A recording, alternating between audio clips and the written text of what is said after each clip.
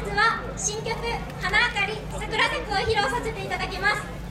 高校生らしく元気いっぱい満開の笑顔で演舞させていただきます。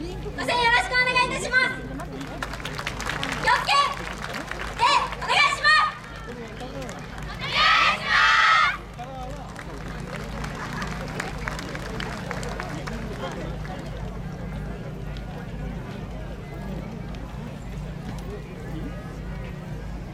す花あかり桜咲く今この地で舞い踊る。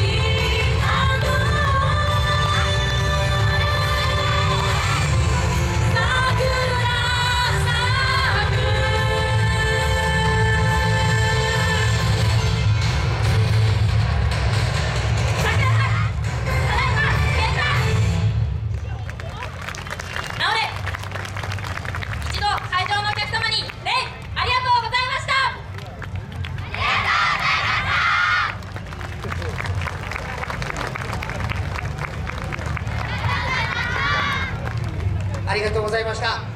以上審査対象6チームによる M でした。